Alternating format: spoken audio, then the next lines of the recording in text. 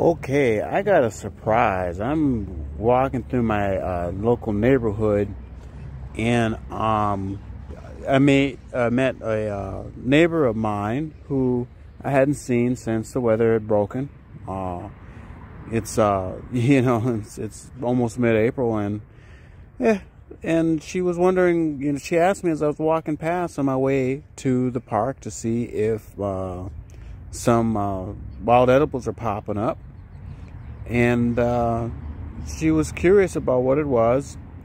She had a little doggy with her, so she didn't want to really approach it because the little doggy's a little nervous. You know how little dogs are. And um, come to find out, it seems like it's a little, little vole. And I'm going to let the little vole, I don't know if it's a baby or not, but there's a little vole right there and I want to let it go and I'm actually made it to the park and I just want to set it down uh, in the wooded area where it can hide so no raptors or anything can get to it but it's such a cutie. It's such a cutie. I'm just like ah oh, I want to keep you little it's like maybe a field mouse or a vole but um, yeah I'm just gonna set it down. It, it, it seemed to be quite comfortable. There it is seemed to be quite comfortable in my hand as I was walking because I still had a few blocks to make it. Hi, little one. How are you? And what I reckon is this, this one made it into the house, or if it's a baby, I'm not quite sure what kind of animal it is. Uh, ears seem to be pretty small for a mouse. Um, but at any rate, um, I'm going to set it down and, and let it go. Um, and hopefully it survives and keeps on going. But most likely, what happens is during the wintertime, um, these are these critters make their way into your house. And now that the weather has warmed up in my region, and they venture outside. And as I was walking past my neighbor's house, she was like, "Uh, uh it's good that you walked past. What is this? What is this brown thing over there?" And I went, you know, she allowed me up in her yard, and I looked, and I was like, "Oh." It's a cute little mouse or something, little rodent, little baby something odd.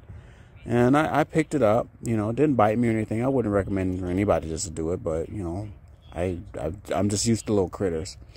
And uh, the poor thing, oh, it just wants a nice warm place to be, but I can't keep you, unfortunately.